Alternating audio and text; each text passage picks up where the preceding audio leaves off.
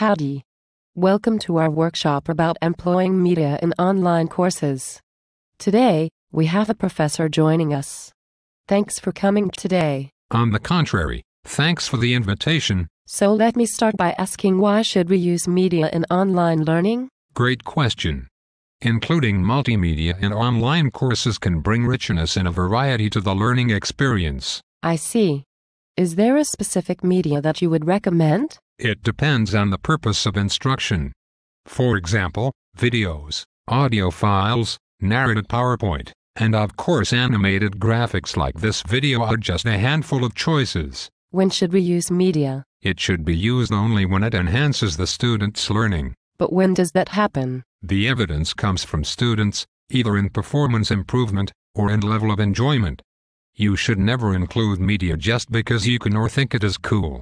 If you are asking for feedback at the end of the course, which hopefully you are, then you can ask them directly. The students are your best source of feedback. Yes. Sometimes we assume that presenting information in a media format will automatically increase interest in the topic, thus making it easier for them to learn. I know. In fact, it can be quite the opposite.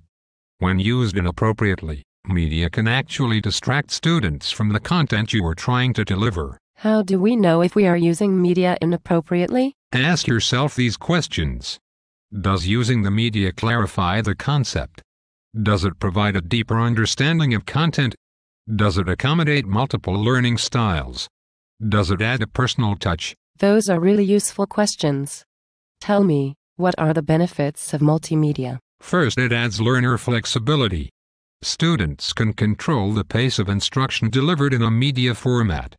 They can review the media by stopping, starting, and rewinding. Right. That is exactly what they can do with this video graphic animation. Yes.